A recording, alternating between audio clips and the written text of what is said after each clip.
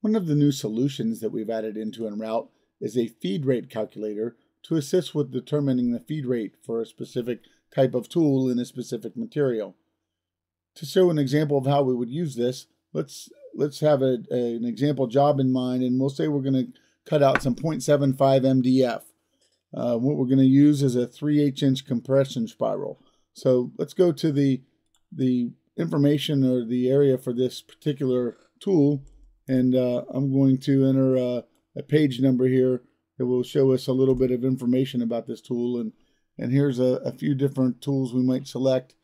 Um, we're going to, for this example, say we're going to use a, a double flute solid carbide compression bit. So this is a, a bit of a 60 and 100 DE.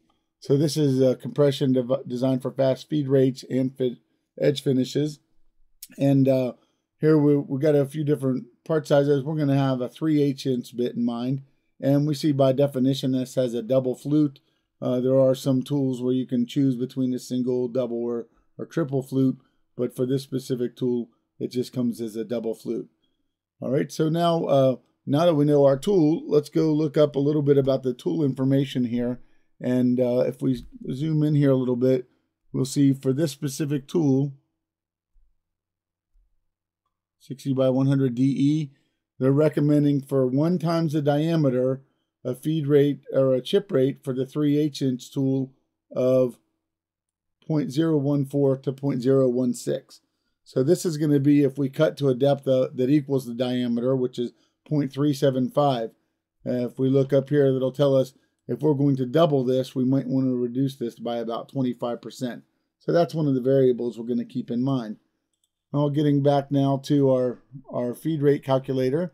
If we have a chip load of 0.014 at the lower end, and this is going to be in inches, we go an RPM of 18,000 RPMs, and we have two flutes here.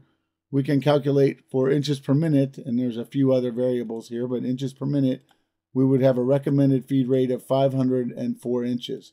So this is going to uh, give us some information. Now, if we wanted to go to the higher end of the, the recommended chip load values, we could go up to 576. Uh, if we wanted to decrease and even increase our our RPMs, we could we could increase our feed rate a little bit. But keeping in mind, if we're going to double the diameter in terms of cut depth, we would need to reduce this by 0.5 or or by 20 percent. So uh, we would reduce in this case by about 140. So it would go about 540 inches per minute to stay at the, with the, with the recommended feed rate of this particular tool manufacturer. So uh, using your chip load values, RPMs, and the number of flutes, you can get a good recommended feed rate. And this is based upon the specific information of the tool provided by the tool manufacturer. But it's a handy way to access a feed rate calculator and, and enter this information and get a, a, a recommended feed rate.